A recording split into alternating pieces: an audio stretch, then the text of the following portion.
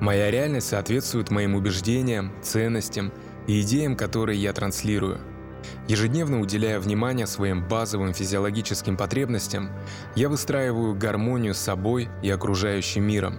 Встаю около 5 утра, пью воду, выполняю дыхательную практику, разминку, комплекс йоги, медитирую, делаю что-то полезное для себя и окружающих на уровне привычки – Сегодня вокруг меня пальмы, горы, море, добрые люди.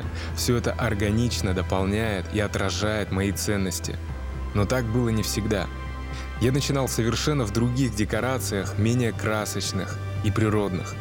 За окном был Архангельск, потом серая Москва. Но внутри были те же мысли и идеи, что и сейчас. Вслед за моим состоянием изменилась и окружающая реальность, которая теперь только усиливает мою мотивацию и жизненную энергию. Я искренне рекомендую вам начать создавать свой внутренний мир уже сейчас. И неважно, где вы находитесь.